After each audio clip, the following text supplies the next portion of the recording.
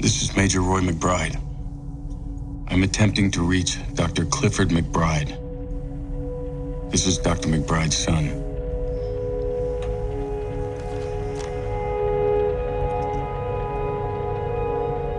Dad, I'd like to see you again.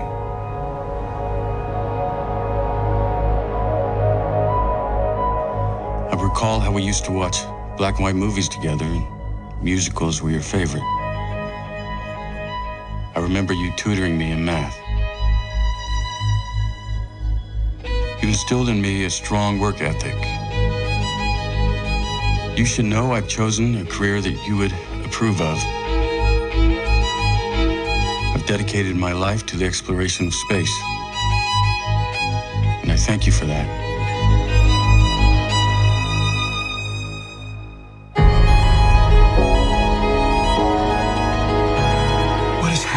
Out there is a crisis of unknown magnitude. We believe your father may be involved. My father's dead. What exactly are you requiring from me?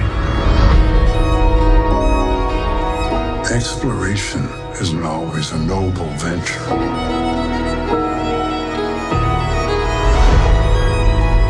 We have to hold out the possibility that your father may be hiding from us.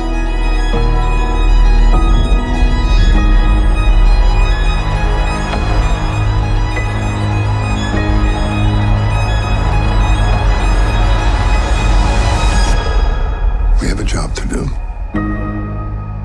Are you ready? I'm ready.